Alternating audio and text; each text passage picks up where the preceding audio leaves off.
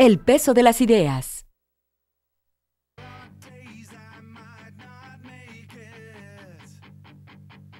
¿Qué tal? Muy buenas tardes. Estamos ya en viernes, viernes en la báscula, el peso de las ideas con mi maestro Juan García Quevedo. Muchas gracias por acompañarnos, maestro. Al contrario, Sergio. Sin duda alguna, la mejor barra de opinión del Estado y posiblemente del país. Este día, para cerrar la semana con broche de oro, vamos a juntar una serie de temas que hemos tratado de manera separada y por pedacitos. Vamos a ver por qué esta elección, la elección que vamos a vivir en junio de este año, por cierto, se recorre un mes, ya no es en julio, es en junio, eh, es una, una elección especial y es una elección diferente. Básicamente, cuatro temas. Tenemos un INE, una autoridad electoral que después de, desde el 91 que se había consolidado, llega muy cuestionada, llega con muchos problemas y queremos ver por qué una autoridad eh, como tal tan importante para, el proceso electoral está tan cuestionado. Segundo tema que va a marcar esta elección y la hace diferente es que por primera vez vamos a elegir a candidatos que se pueden, perdón, vamos a elegir candidatos que se pueden reelegir. Tercero, vamos a elegir, va a haber, por lo menos el 50% de candidatos van a ser mujeres. ¿Sí? Ese es un tema, ese es un tema que definitivamente va a modificar la lógica, la lógica nacional o la lógica democrática en la que hemos vivido hasta ahora, o por lo menos eso opino, lo platicaremos con mi maestro. Y por último, es la primera vez donde vamos a poder elegir candidatos independientes. Tres cosas o tres elementos que hacen completamente diferente esta elección de las que hemos vivido hasta ahora en el país. Y eh, quiero arrancar con el primer punto, maestro, si le, si le parece bien. ¿Por qué el INE, ahora INE, antes IFE, está pasando por un momento de tanto cuestionamiento? Cuando es tan importante que estuvo, cuando uno pensaría que después de veintitantos años debería estar más fortalecido. Bueno, eh, haciendo un poco de historia, eh, me voy a atrever a decir que don Jesús Reyes Heroles inventó a los partidos políticos. A los modernos, sí, en 77. A los partidos políticos eh, en términos generales. es decir, había un partido hegemónico en lo cultural, en lo político, en lo social, eh, y ante los movimientos de la guerrilla rural, la guerrilla urbana, movimientos de inconformidad, después del dramático 68, don Jesús inventa los partidos. Y en ese momento, eh, si la memoria no me es infiel, eh, eh, se produce una conmoción interna dentro del PRI. Ramírez y Ramírez dice no a la reforma política, sí a la reforma económica. Sansores, Sansores padre, gobernador. Sansores Pérez también dice sí a la reforma económica, no a la reforma política. ¿Por qué? Porque la representatividad que tenían era muy pobre, era muy pequeña, era muy poca. Y bueno, pues este, como usted sabe, Sergio, la característica fundamental de las izquierdas y ahora de las derechas, históricamente en este país ha sido las decisiones. O sea, creó un partido, pero si usted entra, yo me salgo. es decir, eh, eh, nunca tuvieron disciplina, siempre estuvieron en el mundo de la decisión, del desacuerdo, del conflicto. Eh, el Partido Comunista tuvo, para recordarlo y hacerle un homenaje, a José Revueltas, y José Revueltas tuvo que salirse del Partido Comunista y crear la Liga Leninista Espartaco, junto con un grupo de intelectuales. Es decir, la izquierda siempre fue una izquierda universitaria, con un gran tinte ideológico, un gran tinte universitario. Y la derecha fue una derecha empresarial, absolutamente empresarial, es decir, el PAN al margen de el Concilio Vaticano II y la democracia cristiana o la socialdemocracia siempre estuvo eh, manejada por sectores empresariales. o de las clases medias altas y muy cultas, pero también profundamente reaccionarias. El liberalismo de Gómez Morín no le alcanzó lo suficiente como para permear la idea que tenía de acción nacional.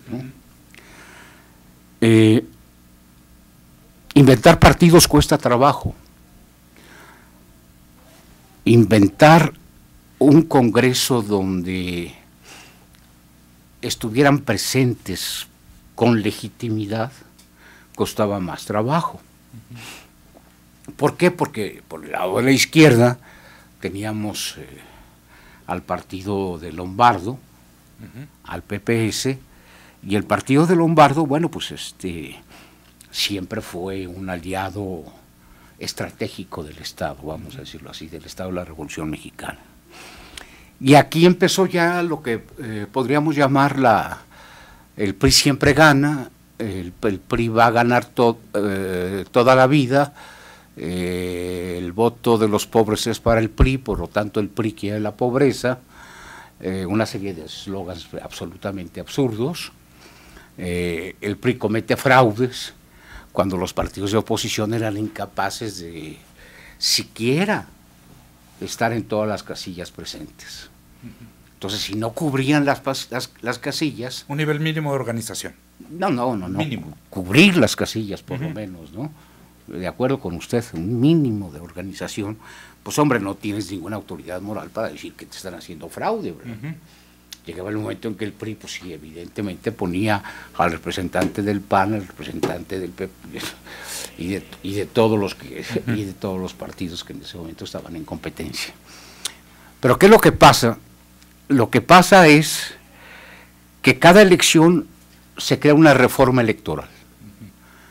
Y dentro de esa lógica de que en cada elección nazca una reforma electoral, pues verdaderamente estamos confundidos, perplejos y sin saber cómo darle al ciudadano confianza en su voz y en su voto.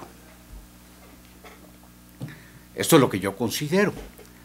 Eh, si hubiese la oportunidad de que los mexicanos, eh, es decir, eh, pudieran entender que el PRI gana y gana legítimamente, bueno, pues entonces ya no tendríamos que ver que solamente son legítimas las elecciones cuando el PRI pierde.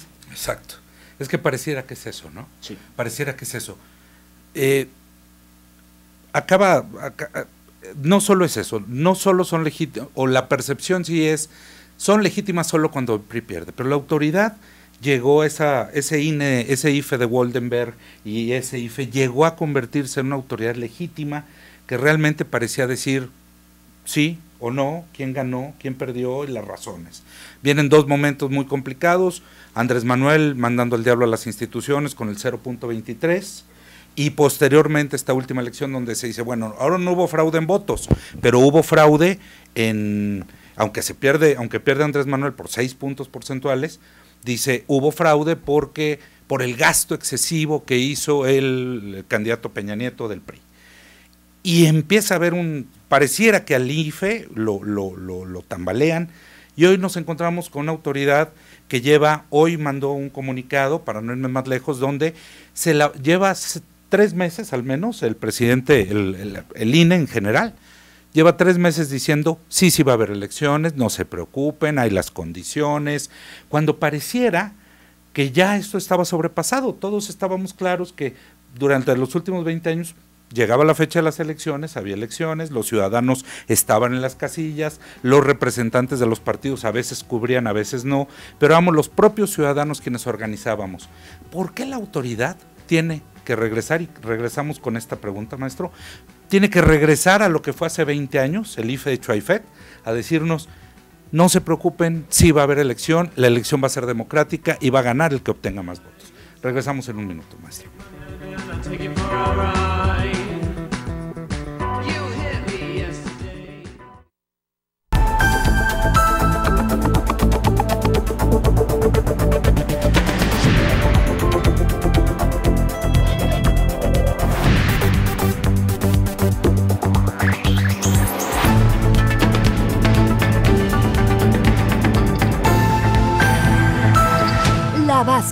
El peso de las ideas.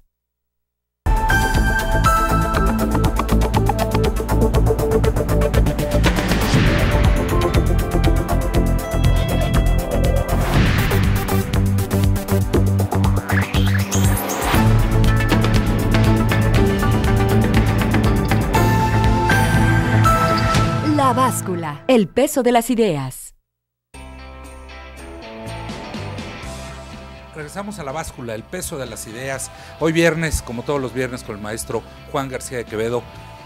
Maestro, ah, perdón, doy los teléfonos, ojalá se puedan comunicar con nosotros. 3641-7414, 3640-2131, el Twitter de, de 1070 Noticias, eh, arroba 1070, eh, 1070 Noticias, y el mío, arroba S. Ramírez Robles. Eh, maestro, nos quedamos con, le planteaba yo la pregunta, 20 años del IFE, ahora INE, 20 años en que se construyó una percepción de que las elecciones ya no eran fraudulentas, que había una autoridad eh, que tenía miembros ciudadanos, que cada casilla ya no le integraban el PRI o, o sus aliados, y que los propios ciudadanos nos hacíamos cargo de las elecciones y entonces nosotros impedíamos este, que hubiera algún tipo de fraude. Pero por lo menos esta elección pareciera, y el, Consejo General del INE y su presidente Lorenzo Córdoba lleva dos, tres meses justificando que sí va a haber elecciones, que no nos preocupemos, que todo está en calendario, que cuando esto ya era un tema, ahora sí que, que como para qué nos lo tiene que decir, como esto ya era un tema que debería estar sobrepasado y nomás deberíamos llegar el día de la elección a ir a votar en la confianza de que no va a pasar nada. ¿Qué le está pasando a la legitimidad del INE que nos tiene, que, que por que la gente ahora desconfía de ellos después de 20 años? Bueno, yo, yo, yo, yo empezaría, si me equivoco, me corrige, Sergio, por favor. Yo empezaría por señalar que yo le tengo un profundo respeto a José Woldenberg. Es un intelectual eh, que siempre ha tenido una vocación democrática y social evidente, está de por medio su vida o su, su biografía. Pero quiero, quiero que quiero que usted recuerde que cuando Goldenberg fue presidente, ganó Fox, Ujú. Ganó el PAN, y Fox anunció durante el último mes de campaña que si perdía, que si perdía No iba a reconocer. con menos Ah, o con el 5% o menos del 5% no iba a reconocer el resultado electoral. Esto es lo que hace falta, un poquito de memoria. Y era un día y era otro día. Si pierdo por el 5 o menos, no voy a reconocer el resultado electoral. Esto se estaba cuestionando ya a la propia institución. de- En el momento en que gana, bueno, pues todo es felicidad y todo es democracia. Pero también recordemos que Fox desafora a López Obrador. Este, esto es un hecho terrible dentro de la historia de, de, de nuestro, de, nuestro, de nuestro país. Y López Obrador, recordemos, que pierde con el 0.23 o 25%. Por lo tanto, es, eh, eh, vamos a decir, eh, lógica, evidente, necesaria la protesta política. La protesta política y poner en entredicho a, a Ugalde y a, y al IFE que él presidía. es, es, es, es, es- es evidente, tenía que hacerse. No quedaba otra alternativa. O sea, el pueblo estaba dolido porque en México que se pierda por el 0.23% es, es, es, es para sospechar, ¿no? Sí. Es para sospechar. Sin embargo, yo debo decir que López Obrador, en una actitud de, eh, de suma dignidad, cometió equivocaciones, pero no puso en riesgo la estabilidad y la paz de la República. Eh, vea usted ya dos procesos electorales manchados. Manchados por los propios protagonistas. Ajá, por los partidos, exactamente. ¿Por qué? Porque la cultura o la subcultura del fraude, el discurso del fraude, el discurso de la corrupción, de la impunidad, todavía no ha terminado. Todavía sigue calando muy hondo dentro de la sociedad mexicana, en tanto que las oposiciones se dedicaron durante más de 20 años, durante 50 años, hablar de fraude, fraude, fraude, fraude, fraude. Bueno, eh, a mí me parece que, bueno, pues los anuncios de Córdoba son recurrentes, fortalecer la democracia, no, pues ya está fuerte. El Estado de Derecho, bueno, ese sí hay que crearlo. Y por lo tanto también tenemos que crear nuestra democracia una democracia distinta, una democracia diferente, donde los partidos políticos eh, cumplan a cabalidad los compromisos ciudadanos. Es decir, ningún partido político en la campaña habló del pacto. Y sin embargo se realiza un pacto donde se le da a Acción Nacional la reforma electoral, que desde mi punto de vista es un galimatías y un esperpento, y se le da al PRD la reforma fiscal, que es otro galimatías y otro esperpento. Y el PRI, con la obsesión de, sacar de sacar a como de lugar eh, la cuestión del petróleo, la reforma, la privatización petrolera, que yo en lo personal, y lo he escrito muchas veces, no estoy de acuerdo, o sea, me, duele en el corazón. ¿Por qué? Porque este país lo ha hecho el petróleo. Eh, pues este concedió de más, concedió de más a dos partidos que después, como era evidente, pues siguieron su marcha por su lado, ¿me entiendes? Eh, en una conversación que tuve yo en una con el con el señor Madero, le dije, bueno, usted está traicionando a su bisabuelo, no sé qué haya sido. Sufragio efectivo, no reelección. Y la única respuesta que me dio es, si en todos los países hay reelección, ¿por qué en México no? Y entonces entramos a algo tan dramático, que eso sí es un tema importante, a algo tan dramático como el que puedan reelegirse los diputados, los presidentes municipales y volver un poquito a esa falta de movilidad política, desde mi punto de vista, de movilidad política de las élites, que son justamente, justamente una de las razones esenciales de la Revolución Mexicana. Maestro, ¿le parece bien que abordemos a fondo la reelección al bloque que sigue? Y déjeme ver si estoy entendiendo bien. El tema es, hay una máxima jurídica que dice que no hay ley que aguante la mala fe. Cuando se busca violar la ley a como dé lugar, siempre hay...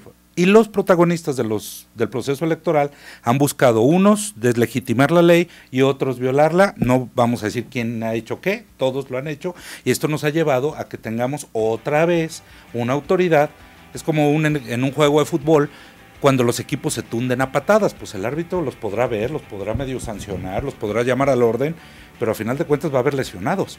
Va a haber lesionados porque el árbitro deja de tener la autoridad. Lesionados, pero con una con un matiz muy importante. Aquí la, la, única lesionada es la sociedad, es la ciudadanía, es el ciudadano. Que sería el espectáculo, en este caso. El deporte en sí mismo. El espectáculo lo dan los partidos. Vámonos a corte, maestro. Regresamos a hablar de la reelección en concreto. Quiero darle mucho tiempo a este, porque este es el, uno de los grandes cambios, porque lo acaba de decir el maestro. el México por revolucionario se basó en la no reelección. Y hoy, por primera vez, vamos a tener reelección. Regresamos a la báscula, el peso de las ideas. Gracias.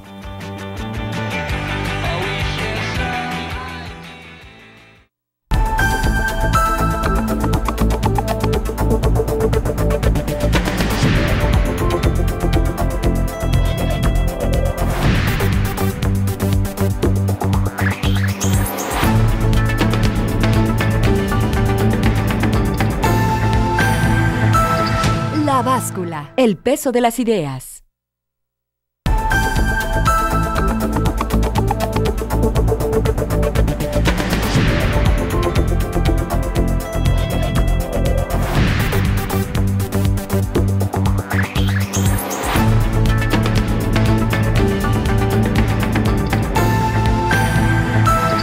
La báscula, el peso de las ideas.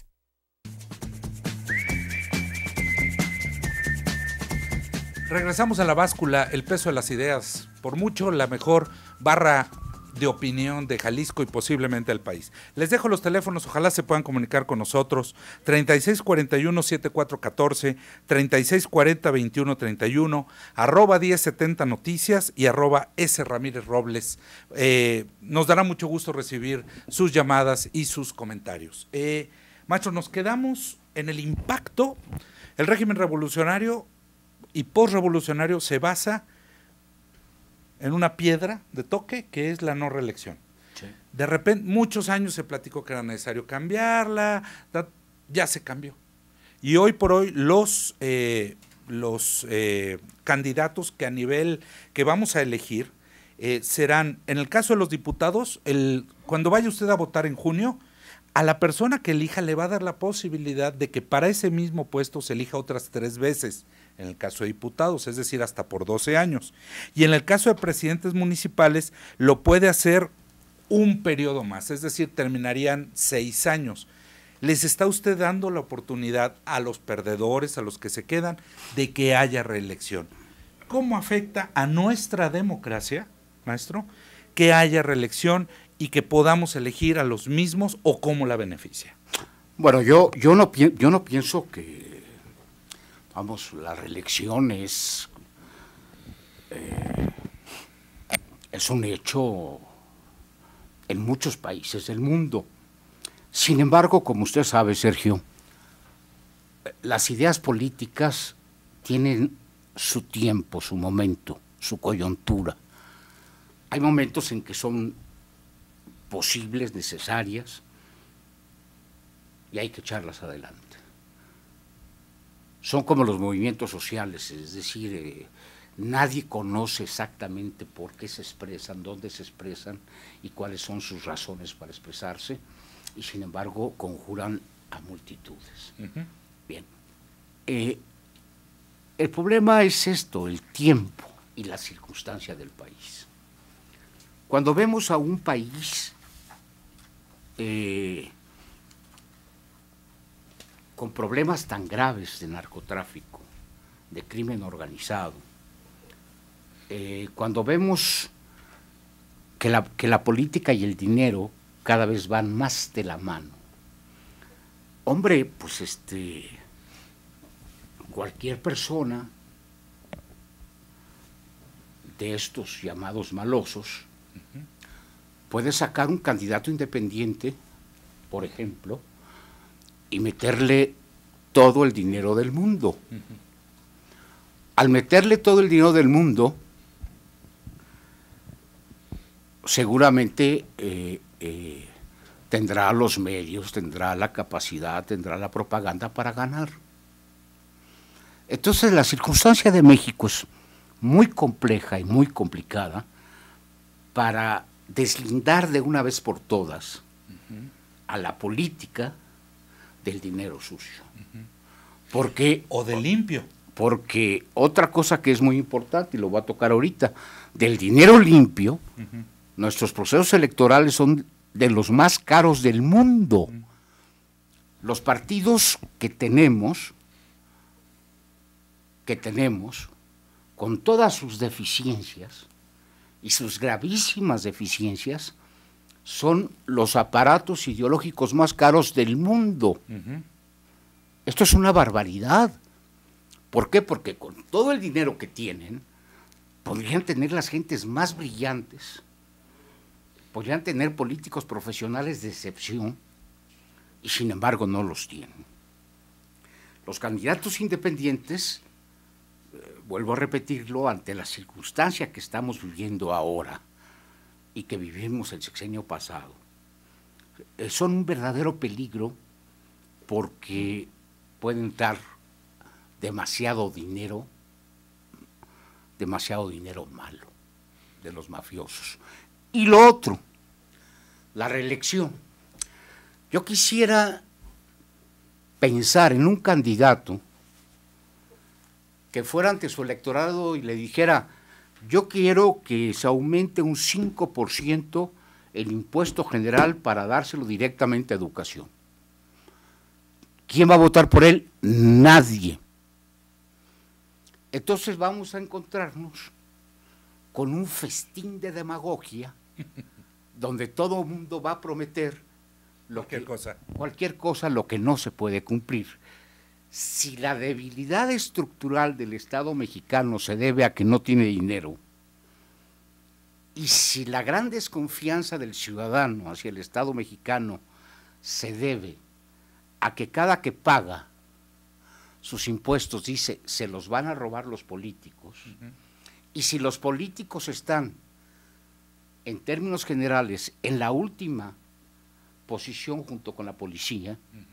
Bueno, es decir, este, ¿a quién se le puede ocurrir semejante desmán teórico sino al presidente del PAN, al señor Madero? Que con todo respeto, de, de veras me parece que es que fue de una torpeza inaudita que los priistas, porque yo conozco el pensamiento de muchos periodistas respecto a la reelección, hayan aprobado ese tipo de cosas. Y ciertamente las aprobaron por una sencilla razón, mi querido Sergio, porque el Congreso no tiene centralidad política. Es decir, la centralidad política del Congreso en México todavía no existe. Y lo que nos cuesta el Congreso porque el Congreso implica partidos, implica elecciones, implica políticos profesionales, implica radio, televisión, eh, eh, prensa. Es decir, el mundo de la política es un mundo sumamente caro. Oiga, maestro, pero no, crea, no cree que este asunto de la reelección también obedece a que ya que estaban juntos en una mesa en la parte del pacto, no dijeron ni sería naturaleza humana que hayan dicho, oigan, ¿y por qué no nos perpetuamos nosotros? Vamos a aprobar la reelección, así estamos nosotros, y de una vez nos quedamos pues 12 años o tantos, cuando antes hay mucha crítica al chapulineo, pero era la forma en que los políticos se iban preparando o iban pasando. Hoy por hoy, pues un político malo se puede quedar dos, un diputado malo se puede quedar por la fuerza del dinero, bueno o malo, 12 eh, años en un, en un distrito. ¿No se están repartiendo el pastel los que ahorita estaban en el poder? ¿No lo cree? Eso sería peligrosísimo. No, yo lo que creo es que la idea que manejaron Krill, fundamentalmente Santiago Krill, y la idea que siempre ha manejado, es que eh, cuando llegan los diputados no saben absolutamente nada. Y entonces hay que dejarlos una legislatura, dos legislaturas, tres legislaturas para que aprendan. Yo no sé cómo se le ocurrió a Santiago Krill esa idea cuando él por primera vez llegaba al Congreso. O sea, era una especie de confesión de parte, como se lo dije yo. Pues entonces quiere decir que usted no sabe nada, ni siquiera conoce la ley orgánica. Sí, el ser... Entonces lo vamos a dejar un tiempo, los vamos a dejar un tiempo largo para que aprendan. Pero, oiga, usted yo le voy a decir una cosa. Yo conozco muchas gentes que van a los partidos de fútbol y no saben de fútbol. Muchas gentes que van a los toros todos los domingos y no saben de toros. Y conozco muchos legisladores que han estado muchos años en el Congreso y, no, conocen ni siquiera la ley orgánica. Es decir, eh, eh, eh, los argumentos panistas para la creación de esta nueva ley orgánica son bárbaros, son verdaderamente desquiciantes, pero el problema es que pueden ser desquiciantes del sistema político mexicano. Ese es el problema. Nos quedan dos minutos, maestro, pero no me puedo, no puedo terminar el bloque sin preguntarle. ¿La reelección como está planteada con esta lógica nos va a beneficiar o nos va a, perjudicar? Bueno, yo creo que, eh, dada que la idea que tienen del diputado la ciudadanía es falsa, es decir, el, el diputado como gestor y únicamente como gestor, pues por el amor de Dios, pero Sergio, se hizo una encuesta y el 70% de la población mexicana está en contra de la reelección. Es un asunto de la clase política olvidándose de la... Es decir, es un asunto de la propia clase política olvidándose de lo que opina la sociedad. El 70% está en contra de la reelección. Y luego vamos a ese tema maravilloso que es las cuotas de género, ¿no? Vamos a dejarlo para el siguiente bloque, para poder tener todo el, bloque para poderlo abordar. ¿Le parece bien, maestro? Me parece muy bien, Sergio. Vamos a regresar en un minuto a, a la báscula. El peso de las ideas, estoy con el maestro Juan García Quevedo. Vamos a hablar de las cuotas de género, donde les aseguro que van a sacar chispas porque no creo que estemos de acuerdo en el tema. Regresamos en un minuto. Gracias.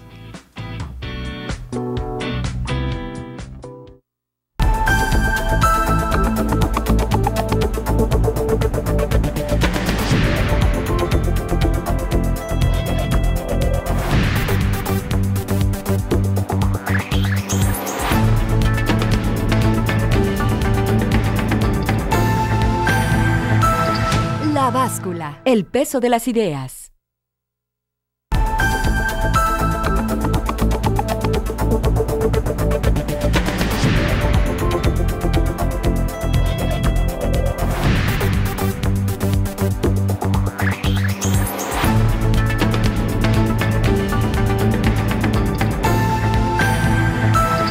La báscula. El peso de las ideas.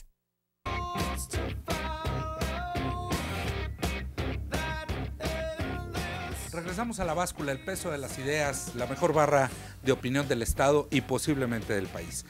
Maestro, eh, perdón, el día de ayer nos llegó una, una llamada que ya no tuvimos posibilidad de leer. Ayer estábamos hablando de muchos temas de corrupción. el señor Francisco Rodríguez nos decía, soy discapacitado y pensionado de 74 años de edad y estoy escuchando su programa y están hablando sobre la corrupción. Dice, si Peña Nieto estuvo en el estado más corrupto que tenemos en nuestro país, que es el Estado de México, pues ¿qué esperamos? Ojalá y nuestras autoridades pudieran limpiar este concepto. ¿sí? Gracias, don Francisco, por su opinión. Maestro, cuota de género. El, históricamente, y, aquí me atrevo a tomar posición, históricamente las mujeres y no y las mujeres han tenido eh, una serie de desventajas para desarrollarse en el mundo. Primero, una serie de, de, asuntos de discriminación por el hecho de ser mujeres y hoy, donde supuestamente se empieza a abrir la participación de las mismas, sufren de muchas cosas, violencia intrafamiliar, discriminación, pero sufren de esto que se llama el piso pegajoso. Llega un momento en su desarrollo que o eligen cuidar a sus hijos o eligen trabajar porque el sistema no les da la posibilidad de que hagan las dos cosas. Y cuando triunfan, existe esto que se llama el techo de cristal, que no hay nada que diga que existe, pero no les permite llegar a los grandes puestos directivos. Esto ha llevado en el mundo, desde la después de la Segunda Guerra Mundial, a una andanada de movimientos y de leyes para darle a las mujeres igualdad de oportunidades, por una parte, y acabar con la violencia contra ellas. Eh, eh, con un asunto que se llama la acción afirmativa. Es decir, a iguales competencias se elige por la mujer. Hay quienes esto llaman discriminación positiva porque dicen, bueno, ¿y por qué se elige por la mujer si, este, si el hombre tiene las mismas competencias? Esta acción afirmativa ha llevado a que, bueno, en muchos países, después de 50 años de aplicarlas, donde ya hay igualdad de oportunidades de ingreso, ya no hay discriminación o no tan generalizada, las mujeres ya no se, se retiraron estas cuotas, que es lo mismo que pasó con la población afroamericana y con muchos otros de estas acciones afirmativas. Llega a México por primera vez. Mi opinión es que este es el verdadero factor que va a hacer cambiar la política y la democracia y el sistema de gobierno en México, por una sencilla razón. Las mujeres tienen una escala de valores diferente a los hombres. Eh, no hacen cosas, y hablo en generalidad como tales, o sea, las mujeres. Los hombres estamos desde la época de las cavernas diseñados y condicionados para poder hacer casi cualquier cosa. Las mujeres están creadas, criadas para construir otra, para hacer otras y no permitir que pasen otras cosas. Creo que el incorporar un número importantísimo de mujeres y yo sí espero que ganen muchísimas y tengamos un congreso con la mitad de mujeres este, eh, aunque no tengan experiencia, aunque no creo que el costo es menor al beneficio que nos terminarán dando. ¿Qué opina usted, maestro? Bueno, pues, eh, pues es evidente, mi querido Sergio, que comparto su posición en lo que se refiere al feminismo la lucha de la mujer por su emancipación ha sido extraordinaria, llena de hazañas. Eh, la mujer poco a poco ha, ocupado un lugar dentro del mundo laboral. Ya con la revolución industrial había obreras, mujeres que trabajaban, eh, pero antes estaban recluidas eh, fundamentalmente una labor de reproducción, ¿no? De reproducción, sí. Cuidado de los hijos. Cuidado de los hijos y de reproducción. Pero el problema es el siguiente.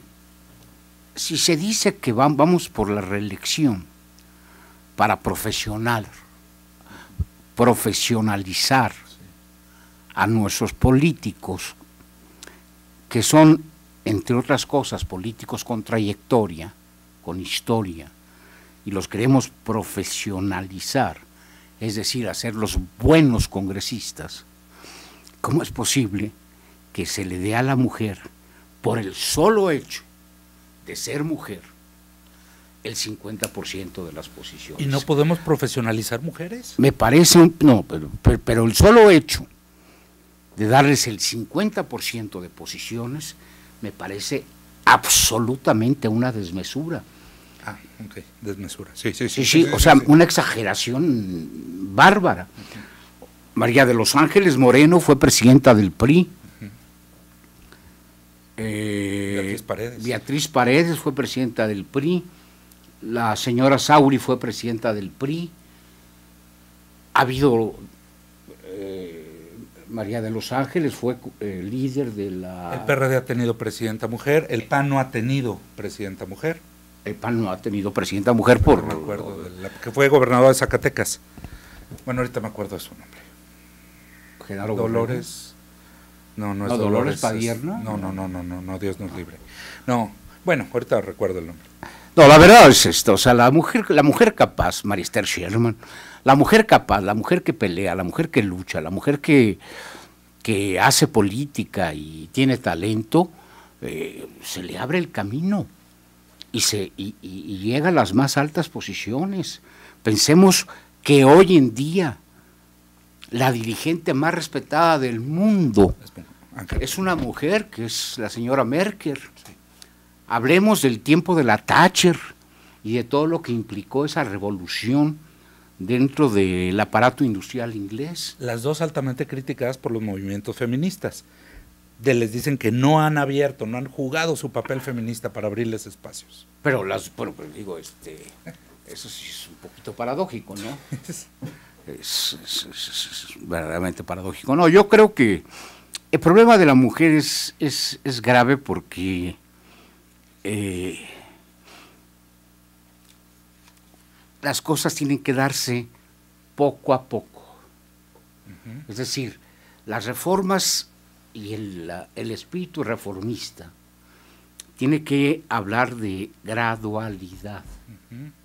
Lo que no es, lo que se hace así de golpe y porrazo, o sea, 50% para las mujeres, 25% para los jóvenes. Bueno, pues entonces ya pues los partidos pues se convierten vamos a, eh, administradores de cuotas. En administradores de cuotas Exacto. y una especie de corporativismo social, ¿no? En un principio, pero no cree que si alguien, una organización, es quien trabaja un, un, un territorio y ese territorio están preparando a un político y saben que tienen que tener una mujer, ¿no empezarán a preparar mujeres también las organizaciones? No les O va a quedar de otra. Ahora, por las noticias que yo tengo es que ni el PRD, ni el PRI, ni el PAN está preparando mujeres para el Congreso. Bueno, es es la noticia que yo tengo, Es la ¿eh? primera vez. Bueno, pero ¿desde hace cuánto se anunció esta primera vez? Dos años. Dos Año y años. y No, un y ¿Usted, año. ¿Usted cree que en un año Sí. no es tiempo más que suficiente para preparar a una mujer en el debate, en el con- Sí, eh, sí, trabajando distritos, etcétera, etcétera? los partidos no- no- y lo- los no- partidos no lo han hecho.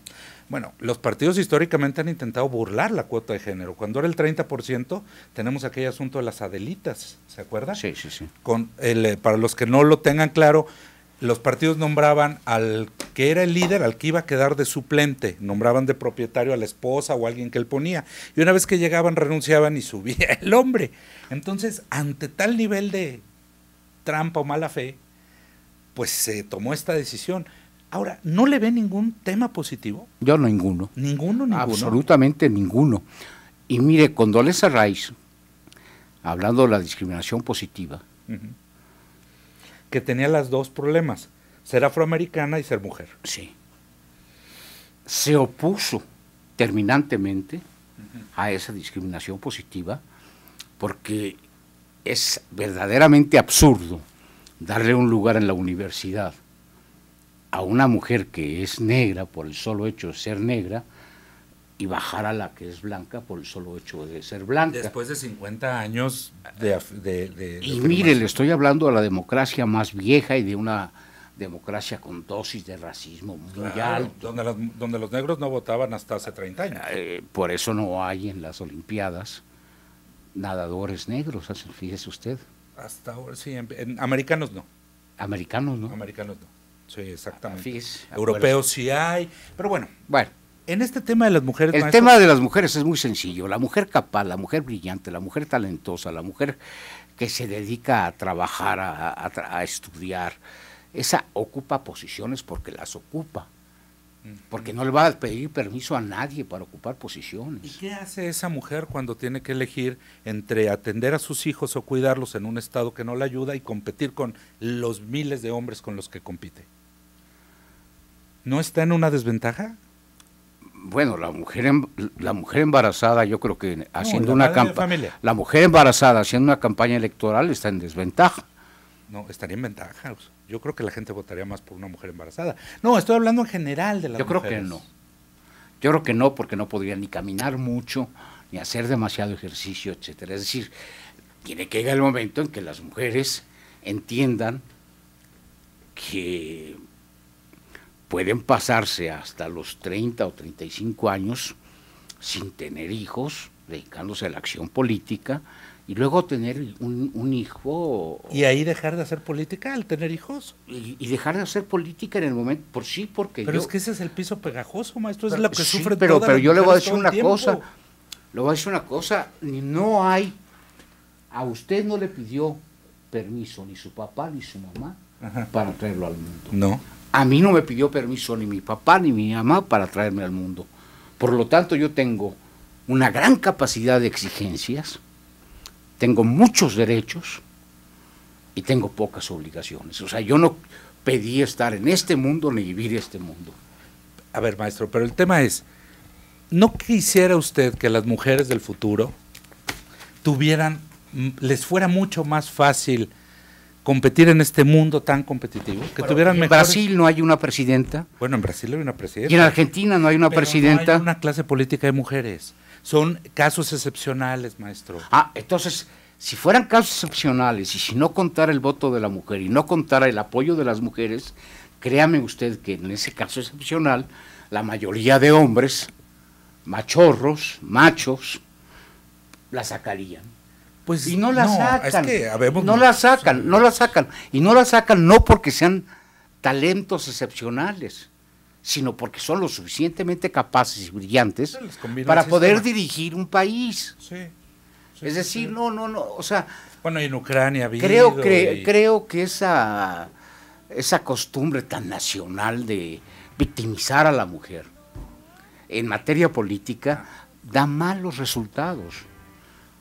Mire usted, yo creo que la violencia de género, Ujú. esa sí debe atacarse. Cuando un hombre golpea a una mujer, cuando un hombre escupe a una mujer, cuando un hombre lastima el honor de una mujer, eso sí debe Cuando atacarse. la violenta psicológicamente. O cuando la todo el violenta tiempo le dice, no sirves para nada, eres cuando una la violenta tonta, psicológicamente- No puedes trabajar, el que puede trabajar soy yo. Pero, en pero desgraciadamente para la reproducción de la especie son las mujeres las que paren y las que se embarazan. Gracias a Dios, maestro, porque si fuera por, si fuéramos los hombres los que tuviéramos a carga, de plano estaríamos en el hoyo de la humanidad. Nos tenemos que ir. Este, les agradecemos mucho. Una semana más de la báscula. Eh, nos vemos la semana que entra, lunes 7 de la noche, eh, aquí en 1070 Noticias. 11 de la noche en C7 Jalisco, 6 de la mañana en C7 Radio. Les agradecemos mucho, muy buenas, buen fin de semana y buenas noches.